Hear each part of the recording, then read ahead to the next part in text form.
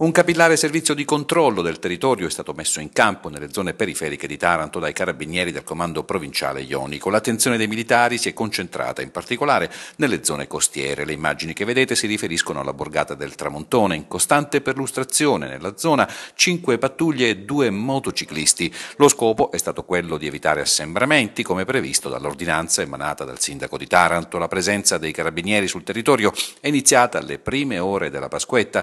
Il servizio messo in atto dai militari è stato anche un deterrente per scoraggiare chi, complice la bella giornata di sole primaverile, avrebbe potuto infrangere le regole. In realtà qualche veicolo di troppo è stato notato anche in relazione alle restrizioni del momento. Numerosi controlli effettuati anche per verificare la cosiddetta autocertificazione, una Pasquetta blindata dunque e inconsueta, che ha costretto i tarantini in casa, un sacrificio necessario, forse reso ancora più doloroso da un mare cristallino ed un tiepido sole che ha finito per scaldare il cuore pensando al prossimo lunedì dell'angelo che si spera possa essere in libertà.